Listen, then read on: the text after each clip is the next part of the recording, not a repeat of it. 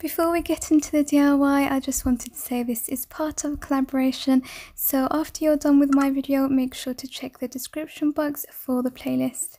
So for the collaboration, we were asked to create something using wood scraps. So I have these backings from photo frames from a previous DIY that I have used. Now, of course, you can get these from dollar stores or from Poundland. So you're going to begin by removing these and these clips.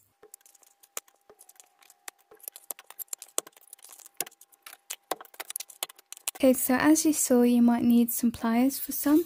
And let me just see how many of these you need. One, two, three, four, five, six. So you need six in total. And I'm actually going to save all these little bits because as a crafter, you never know when they'll come in handy. So the next thing you're going to want to do is you see we've got these two holes here.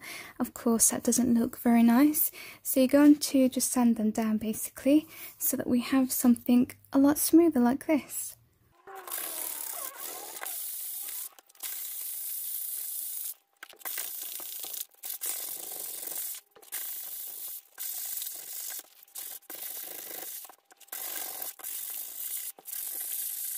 Now, once you've done that, the next step is to glue all of these together. So you're going to need a combination of E6000 and hot glue. You're going to place one on the bottom, and then we're going to have two stick together on either side like this.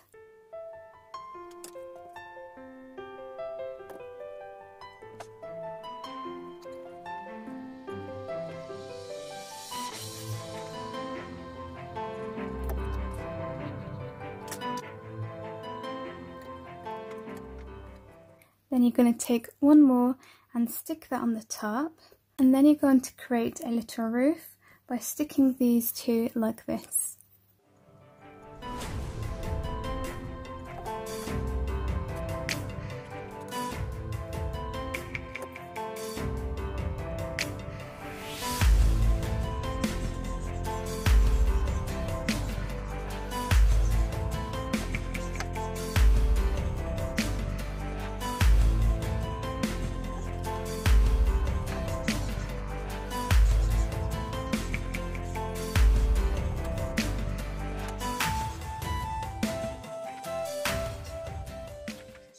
Okay, so once you've got that all ready, see how I've got a bit of glue that's coming out?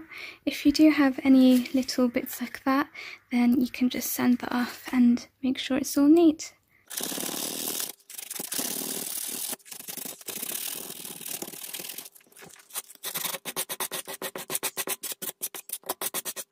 The next thing we're going to do is spray paint it black. So I am back from spray painting. Unfortunately, I ran out of spray paint and I don't have any more. I'm hoping I can get away with it because we're going to go in with some white acrylic to distress it and I'm hoping it just won't really show.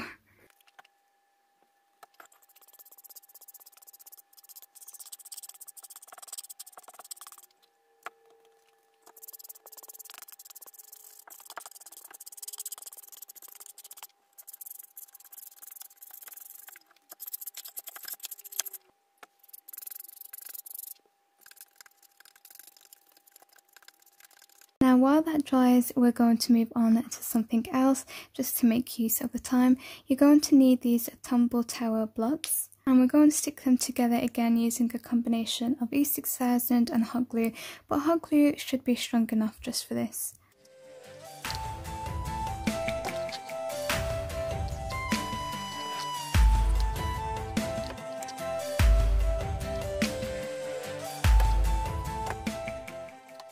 Then you're going to take your block and you can use stamps for example. I have these wooden letters so that's what I'm going to use and you can write blessed home or sweet home, anything you like.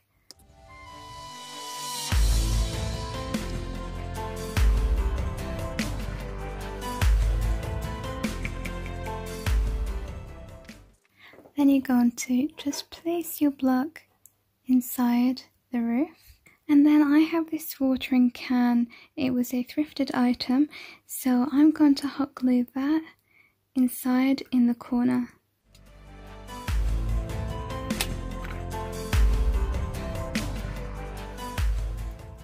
Then I'm going to take this succulent and place it just underneath the watering can. To fill the gaps here, I've got some artificial plants. I've just snipped these up so that we can fit those in the corner there. And this is another bit of greenery that I'm going to add so that it covers the corner and goes on top of our block.